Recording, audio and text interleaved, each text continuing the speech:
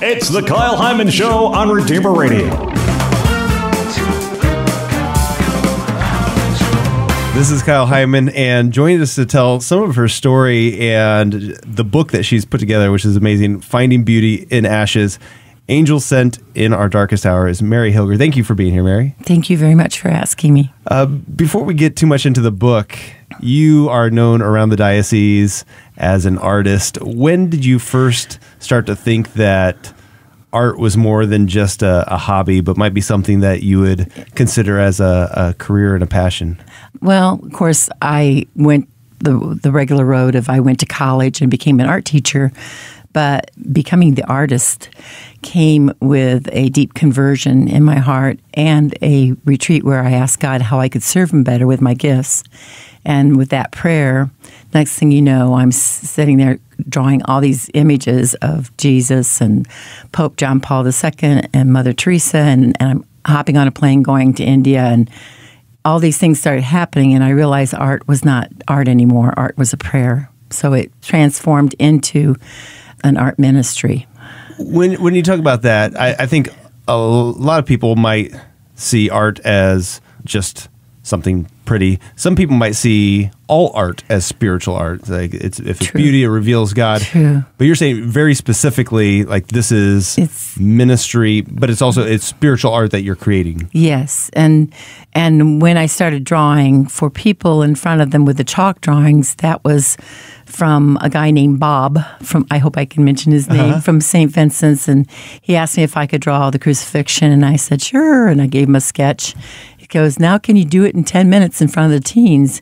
and I just come back from India, gifting Sister Nirmala the picture of Mother Teresa, and I I was so ripe, you know, it was like I was had hmm. surrendered. And I said, okay. And so when I got there, it was amazing. that Watching the teens just pour their tears out and, and hug me and embrace me after I did the drawing, I had this vow with God on the way home. I'm like, I'm doing this the rest of my life. Yeah. So it became like it has to become something that affects another person, you know, in the spiritual world. And it, it seems to do that.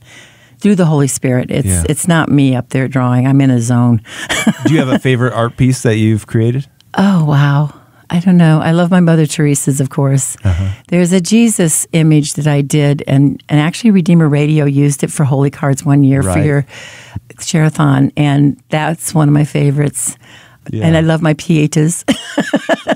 See, they're, they, they're based on holy people and holy images. Yeah.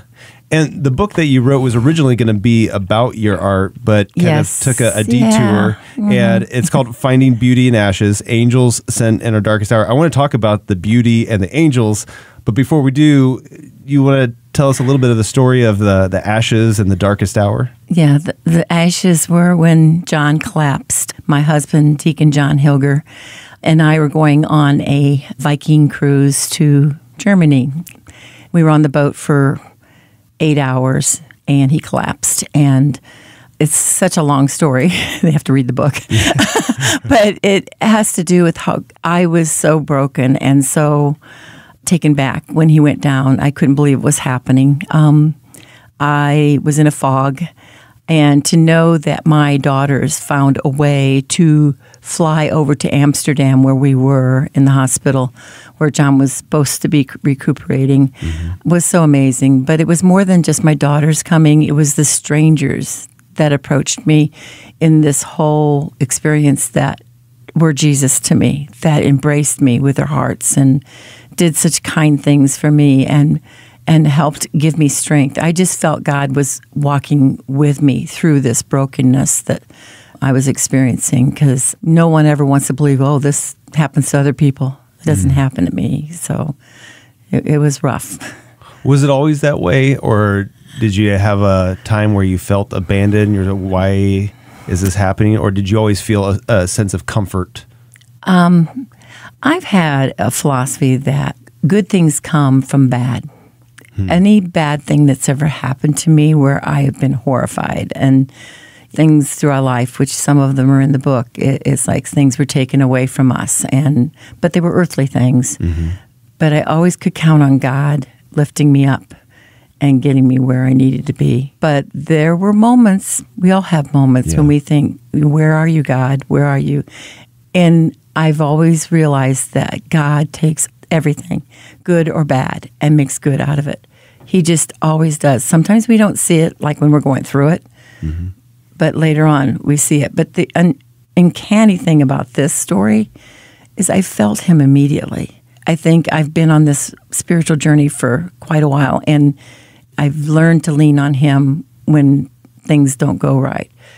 Did I not feel like, wow, you know, this is the worst thing you could do to me, God? Yeah, my love of my life and friend and everything taken from me, but he comforts us through the hand and compassion of others.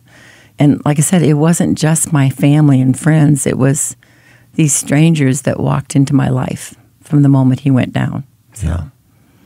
We're talking with Mary Hilger. The book is Finding Beauty in Ashes Angels Sent in Our Darkest Hour. And I mentioned that this was originally going to be a book about your art. Yes. At what point did you shift your focus and say, you know what? That's not what this book is going to be This about. This is funny because when John passed away, my girls said, Mom, you know, you have this, I want a, a Lilly grant to write this book.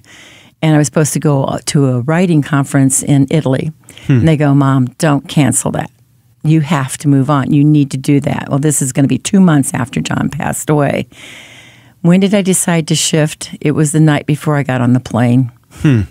And I called the people at Lilly and I said, I don't know what's happening to me right now. I've never experienced anything quite so traumatic as losing my loved one.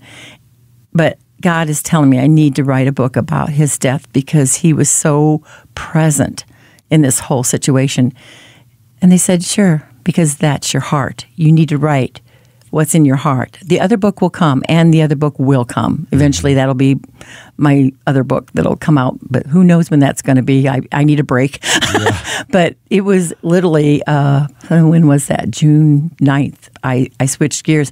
I'm on the plane and I'm typing in my little mini pad the story. Um, I just got this story out of my heart and just, you know, how you can talk into the phone and speakerphone. And I told the story. It was horrible draft. It was awful, but it was what happened. Yeah. And they say when you do write something about your grief, you need to do it when it's raw, right now. This had to be done now. And God had to have given me the strength to do that. The man that helped me in Italy was amazing. He took this horrible draft and he interviewed me about my life, about my children, about my husband. So he says, You know, Mary, you are a writer. We are all writers. We are all storytellers. I'm a big time storyteller. Sometimes we think we can't put it on paper. And he says, All you have to do is write it down. I'm like, Oh, okay. so it was early on that I realized I had to switch over to this book. And then this lady named Kathy Clemmer was amazing. She came into my life, and she's really good uh, with the English language. And she, but she did more than that. She was my counselor. She took care of me. She ministered to me that first year after John's death, and every Thursday night we got together for nine months and wrote this book. And um, it was great. It was great to rewrite and rewrite because when we did that, it confirmed that this really did happen. And I mm-hmm. think that was the cathartic part of this process was being able to say it out loud. Yeah. This is really what happened. And so it was it was a beautiful process. a difficult one. yeah. So you talk about it being cathartic and therapeutic. Mm-hmm. Is that something that you would recommend somebody that's grieving I- yeah. loss to to write, even if they don't not not going to publish it or anything like that, exactly. but to, they to they write wouldn't out have the to story? They, I think when you write and journal, that it, it just makes it concrete. yeah. And um, and doing it with another person, probably. it was really nice doing Yeah. it with another person. You know, I just felt like she was my counselor. yeah. beautiful lady. And that's what I learned from these people who knew how to write. They said, What did that feel like? Mm-hmm. What did that smell like? What did you see? You know, all those things, those details that you should put into a story. That's what they taught me the most was just let it all out. You know, when I was walking down the street through Amsterdam after I'd been in the hospital for two days, what did that feel like? Right. Of course, I cry. Yeah.